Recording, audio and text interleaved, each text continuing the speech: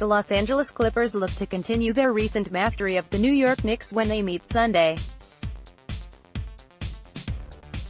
The Clippers, 43-30, have won 12 of 13 in the series since 2013, while the Knicks, 14-59, have struggled, going 6-22 against Western Conference foes.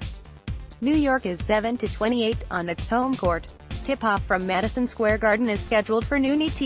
Los Angeles is a 9.5-point favorite in the latest Knicks vs.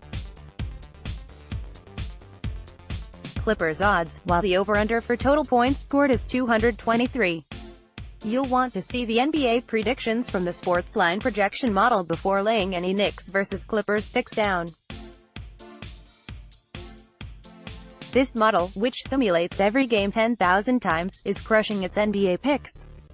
It entered Week 23 of the 2018-19 NBA season with a sterling 253-195 record on all top-rated picks, returning well over $4,000 to anybody following them.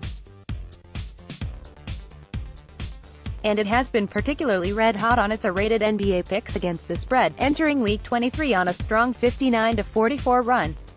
Anybody who has followed it is way up. Now the model has dialed in on Knicks vs Clippers.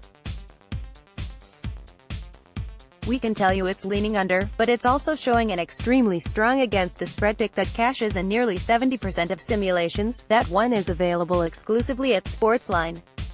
The Clippers enter the game with a statistical advantage over the Knicks in a number of categories, including three-point field goal percentage, second at .383 compared to 26th at .343, points in the paint, 6th at 3,722 compared to 23rd at 3,244, and free throw percentage, 8th at .792 compared to 19th at .758. The Clippers are 33-6 this season when they out-rebound their opponent, and are 20-4 when they have more than 25 assists. The Clippers, who are a league best 13-4 since mid-February, are led by guard Lou Williams, 20.2 ppg. Williams scored 40 against the Thunder March 8 and 34 against the Celtics March 11. Forward Danilo Gallinari, 19.6 ppg, who ranks 4th in the league in free throw percentage and 5th in three-point percentage, scored 27 at Cleveland Friday and 24 versus Indiana on Tuesday. But just because Los Angeles been dominant of late doesn't guarantee it will cover the Clippers versus Knicks spread on Sunday. That's because New York has a history of success against the Clippers. Knicks lead the all-time series 70-59, including a 107-85 win over Los Angeles at Madison Square Garden last season. Emmanuel Mudiay will likely start at point guard for the Knicks. He's been coming into his own of late, averaging 17.5 points over the past four games, including 28 against the Lakers on March 17. Two other red-hot players are forward Kevin Knox and shooting guard Damyean Dotson.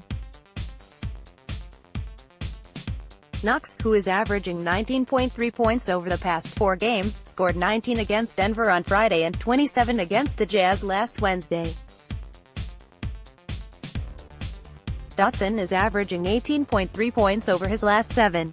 Who wins Clippers versus Knicks? And which side of the spread hits in nearly 70% of simulations? Visit Sportsline now to see which side of the Clippers versus Knicks spread to jump on, all from the advanced model that is up more than $4,000 on its NBA picks this season, and find out.